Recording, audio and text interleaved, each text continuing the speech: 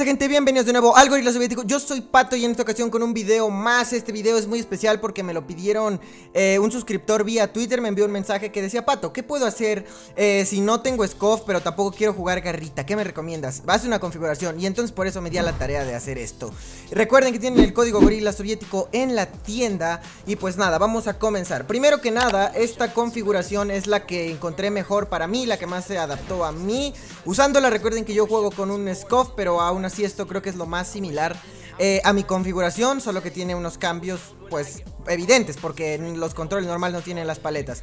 Primero que nada, activen el correr automático. Esa va a ser la clave de esta configuración. Yo sé que anteriormente ya se había hecho un video en el canal de esto, pero solo era para la gente de PlayStation. Entonces esto es para todos. Aquí están viendo en la pantalla el resumen de qué va cada botón. Aquí como pueden ver en el stick izquierdo tenemos el agacharse y reparar. En el botón del medio tenemos el pico. En el stick derecho tenemos el saltar. La edición en la X, cambiar de modo en el círculo el de poner la trampa, interactuar cuadrado y en el triángulo es a su elección. Pueden copiarlo, aquí tienen la primera pestaña y a continuación les explico en qué se basa esto. El edit a mí me acomoda más cuando tengo el scoff en la X eh, por las paletitas, ¿no? Básicamente. Eh, y el salto, pues lo tengo ordenado de manera diferente, pero en la X creo que es la mejor opción, ya que podemos arrastrar rápidamente el botón del stick. Si ustedes gustan, pueden poner el agacharse en la X y la edición en el stick, también es otra opción. Como les digo, tómenlo nada más como referencia y ustedes modifiquenlo a su gusto. En la siguiente pestaña la tienen aquí en pantalla, eh, literal solo copien cada aspecto.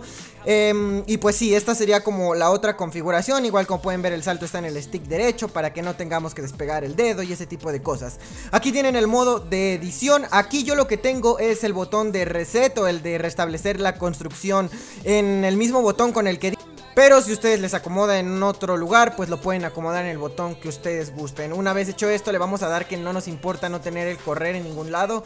Ahora, Pato, ¿por qué el X te gusta más? Eh, se me hace muchísimo más rápido restablecer que con otro botón, pero pues ya ustedes eh, pueden tomar eh, algún otro botón que ustedes quieran. Ahora, Pato, ¿en qué se basa esta configuración? ¿De qué me va a ayudar? Pues muy fácil, amiguito.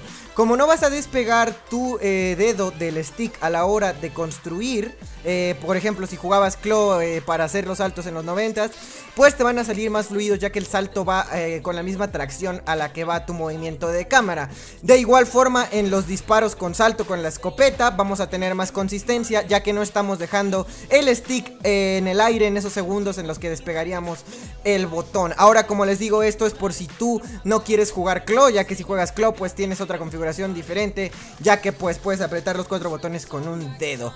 Eh, lo cual no recomiendo porque te puedes chicar el dedo pero bueno eso ya se habló en otro video. Así que pues nada gente, eso sería todo por este bonito video de la configuración. Un video bastante corto porque creo que no puedo extenderlo más. Realmente lo que tenía que hablar ya lo hablé. Y pues recuerden que todas las redes sociales están en la descripción. Antes de terminar quiero decirles que si les gustó el logo nuevo que está en la intro El crack fiera que lo hizo eh, Todas sus redes sociales están en la descripción. Voy a dejar su Insta y a partir de ahí ustedes ya pueden ver sus demás redes y sus trabajos.